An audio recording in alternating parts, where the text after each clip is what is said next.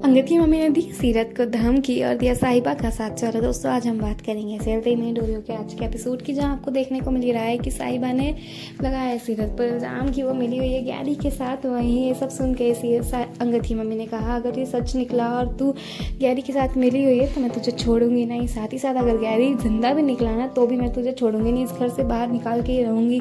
तो दोस्तों, आपको क्या लगता है, क्या सीरत फंसी मुसीबत में या नहीं? हमें कमेंट करके ज़रूर बताएँ।